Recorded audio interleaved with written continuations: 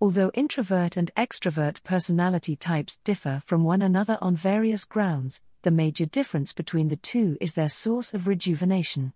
While for extroverts, this may mean interaction or excursions with friends and family, the same may mean reading a book or listening to music for introverts.